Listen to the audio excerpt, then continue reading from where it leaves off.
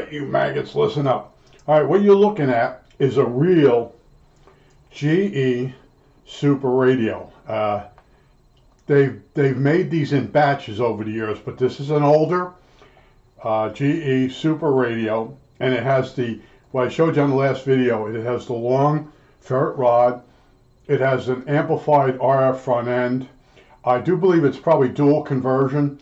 Um, GE came out with this radio uh, probably, let's see, in the 80s. Uh, maybe, yeah, early 80s.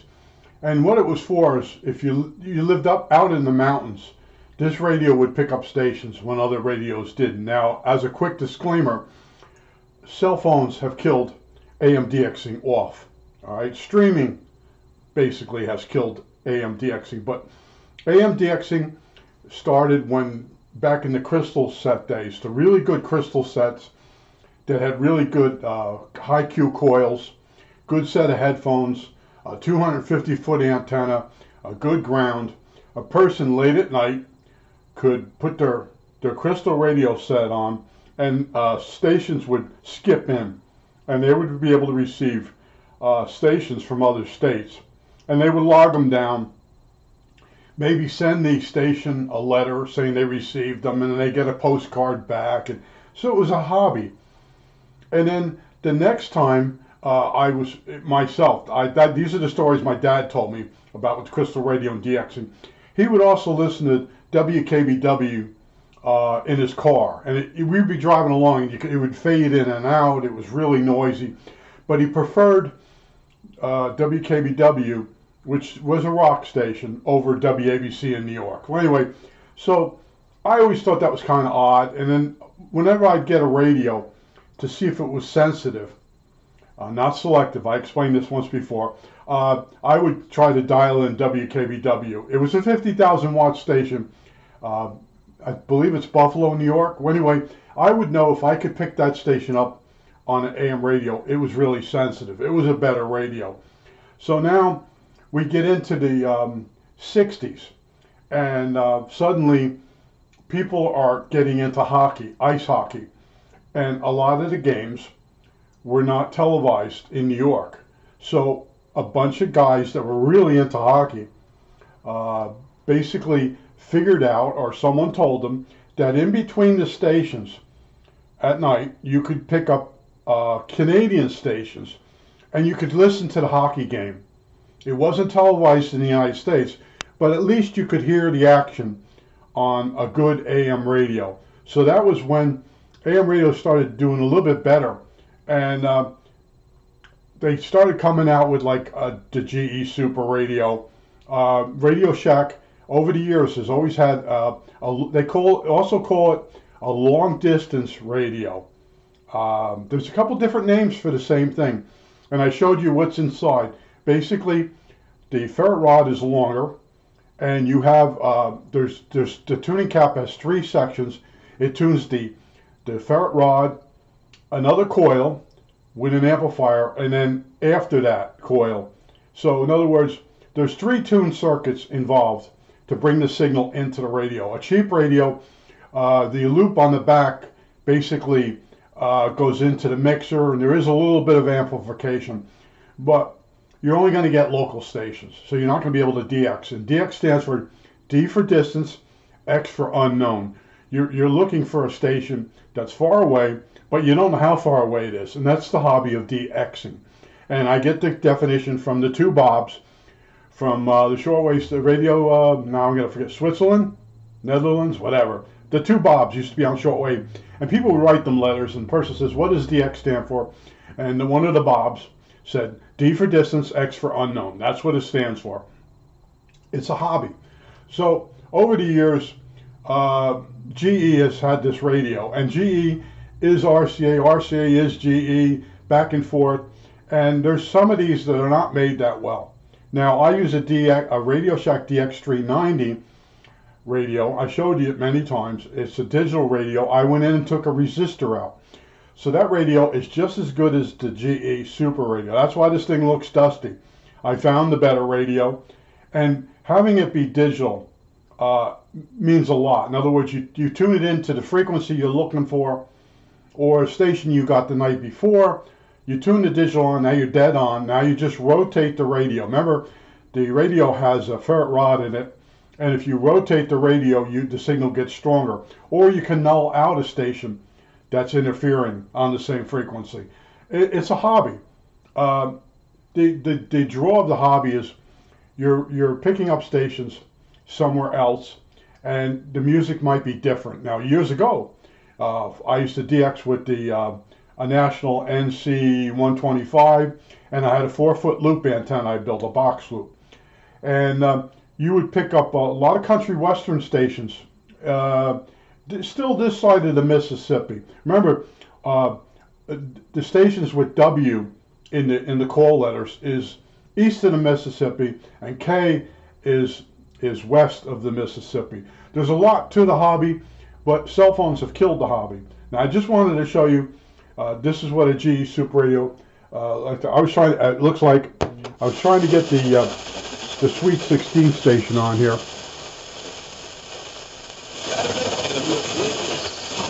it's right in this mess. It's still it's still early in the morning, and uh, you still get stations uh, further away that are skipping in. And at some point, uh, Sweet 16 will switch their power, or they switch on more power, and you can pick them up. And it's a rock, uh, it's a, a, classic rock station. They play oldies on it. It's a pretty good station. And this radio will get it. This radio goes to 1600, uh, actually 1700, and it's very sensitive up there. So a lot of radios, uh, they poop out at 1500. So if you're trying to get one of the newer um, frequencies, uh, don't forget, over the years they added frequencies onto the, at the top of AM, and that was to allow little community stations and Hispanic stations to have their own frequencies. So that's what that extra band is for. And now with cell phones, it's basically obsolete. But this is this is the radio that everybody starts with or used to start with. All right. Now I want to show you this thing. I've done a video on this thing. This radio this radio was built by an engineer at GE, and he wanted to show, you know, it's got a grill. This is a metal grill. He, he built it like a car radio. It sounds like a car radio. It has the long um, ferrite loop in it. It has that extra coil that's tuned with the, the with the three section capacitor. Uh, so this is basically some people call this a super radio. It's the when he built it, he put the, all the best everything in there. It's got a giant audio output transformer. So when you turn this thing on, it sounds like a car radio, an older AM car radio. Some of you probably don't even know what that means, but years ago, before FM became popular, they really put in a wideband uh, AM radio in the in the car, and it would pick up one of the super stations in the country, and you'd ride around, and that's how you got your tunes. And this is before 8-track players came along. See, at one point, everybody had an AM, AM, uh, AM radio in their car. There was no 8-track. There was no cassettes. There were people that had record players in their car. I know. Go go look at the history. It's wackadoodle stuff. It's lots of fun. All right. So this is this was basically you could call this the first super radio. I showed you the, the most common one, and this was an interim. This was this was one uh, made after this this big brown one, and it's well made.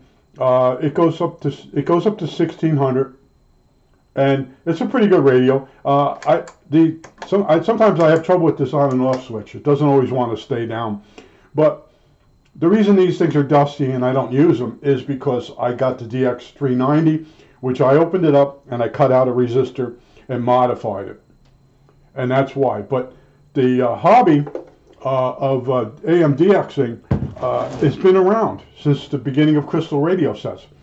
And it, the resurgence came when they started doing ice hockey because there were no cell phones. There was no cable television. Uh, te- television was you had you had uh, in, in, in New York you had four good stations, and then a bunch of smaller ones that had kids shows on it. You didn't have your ice hockey game on there, and later on uh, the smaller stations were playing hockey at night, uh, like on a Saturday night or a Friday night.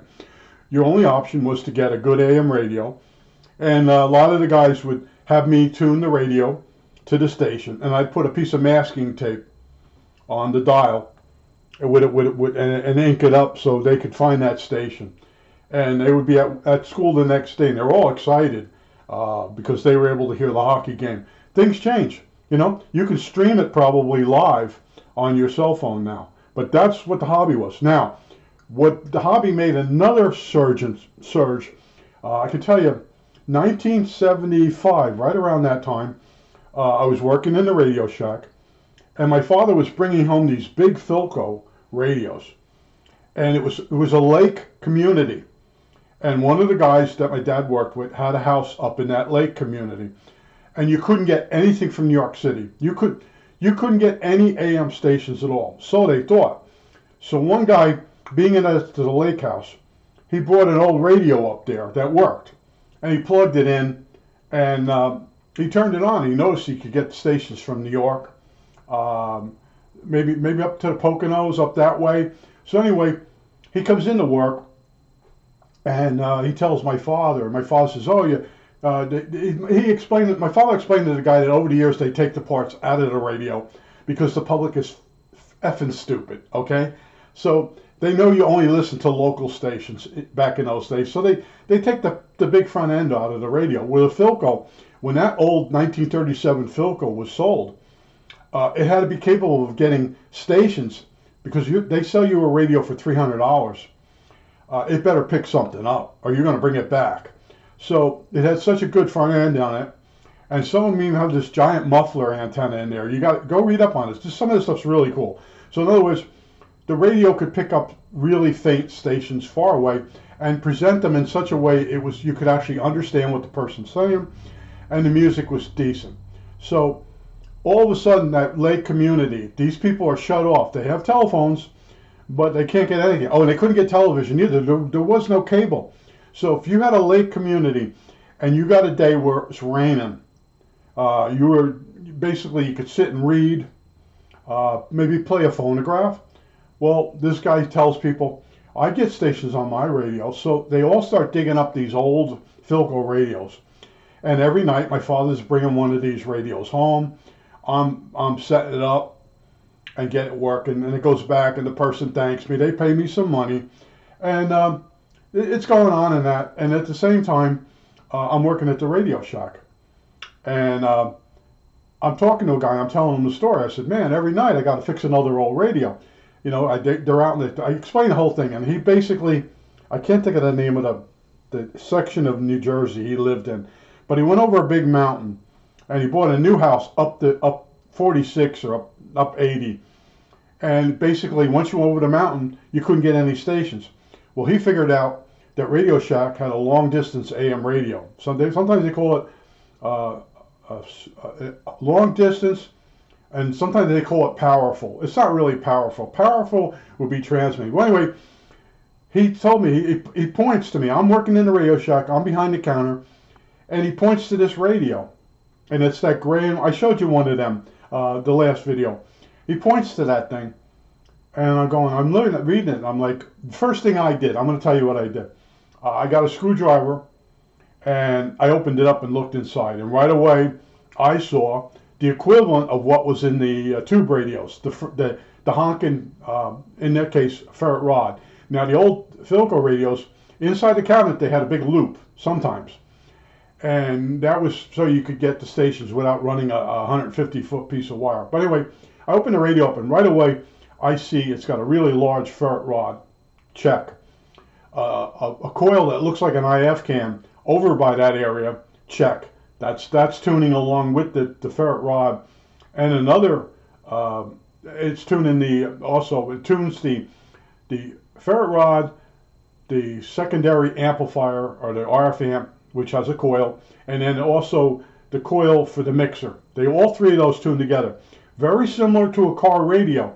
I don't know if you've ever sat in an old car and you're tuning the AM broadcast band and the car radio seems to really pick up good. Well, think about it. You're, you're on a long trip. You want to be able to have a station that doesn't disappear on you. So car radios, if you take the old car radios apart, I think they're Mopars. You take them apart, there's three pistons in there, and those are coils. They do it a little bit different, but there's three tune sections uh, for the front end.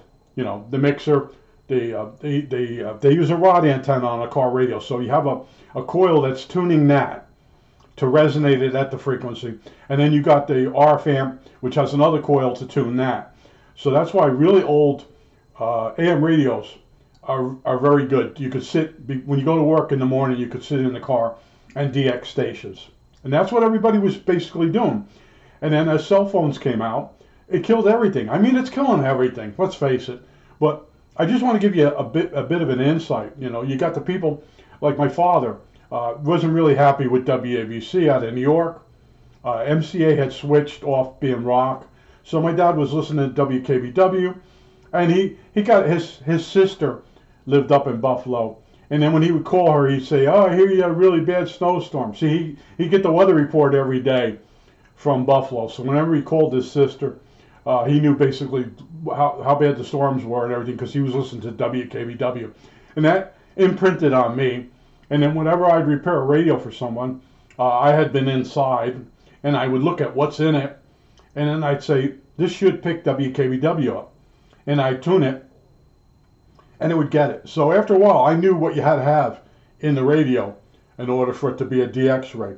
Now, I tell you, I like the DX390 uh, it's pretty good as it is. Got to remember, it, it's a very sensitive radio, the DX390, and it's digital. It's the Radio Shack, and a lot of people will tell you, uh, the guys that shoot from the hips in the in the forums, ah, that radio's no good. You walk across the carpet, touch the antenna, and the fat in the front end blow, blows out. Well, don't put hard, don't wear hard sole shoes in, on on a rugged surface when you're working with the radio, because as you walk on the carpet, your body charges up you touch the radio, a high voltage spike goes into the uh, antenna, the uh, ferrite rod, not the ferrite rod, the uh, the metal rod um, um, with the telescopic antenna, and it burns the front end out. Sure, that happens. It also happens with a Sony 2010. If you ever have a chance to get a Sony 2010, that's another radio. I don't know if it's got the, I know it's really good DXing AM, and it's a digital radio. And when I bought the Sony 2010 uh, home, I noticed right away I could get WKBW whenever I wanted. Uh, back in the old days, at, at, at later at night, 6:50 a.m. is uh, uh, uh, Nashville, uh, the Grand Ole Opry, and then I tell I tell them people about 7:40 out of Canada. It's called Zoomer Radio, and it plays 70 at the 7 o'clock, 80 music at 8 o'clock. Um, I think maybe 90s at 9 o'clock. But anyway, on the weekend it plays big band type music. It's a very different station. And sure, you, you know it's Zoomer Radio. It's 7, 10 a.m. out of Canada. You key it in, now you can listen to it on your radio. So you don't need an AMDX radio.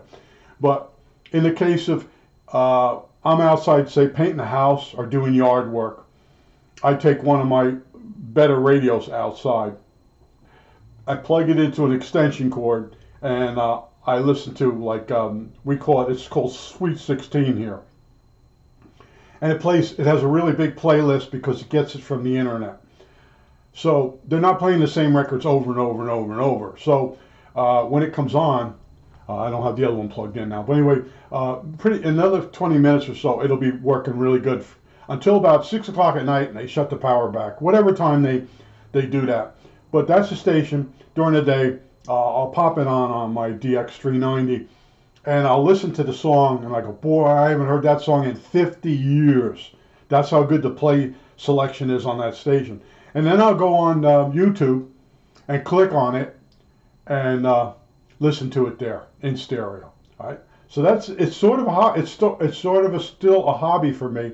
Uh, at night, putting Zoomer radio on. You know, I turn the TV off. I have the computers off, and uh, just before I go to bed, I'll put on uh, uh, 740 out of Canada AM and listen to whatever they're playing. And their commercials are totally different. a lot of it's for cruises. It's not it's not your local type of station. It's it's it's set up differently. Okay. Uh, I did say okay. Uh, I, I, I, someone commented the other day on me again. We're tired of you saying okay. Don't watch my videos. Do me a favor. Uh, it's a, it's a habit. But I just want to give you a quick overview why you would DX at, uh, based on the old days, why you might still do it now. Now, you could be in an area of the country that you can't get anything. Uh, I can't think of the name of the part, of the section of New Jersey. They had they had to have they had Salmon's Cable. It was a, a guy owned a little cable company, and he would amplify the signal from a, a hill, and and feed it down into the home. So if you bought one of those homes, uh, it was something Valley.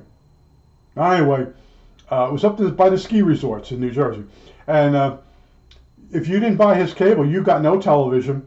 You could get no AM radio. And I started telling people get a Radio Shack radio, and they there were. So at least if you want to know what the weather was going to be the next day, you would put this AM radio on, and you could get it. Because back then you didn't have you didn't have cable, or you had Salmons, and you paid a monthly fee for.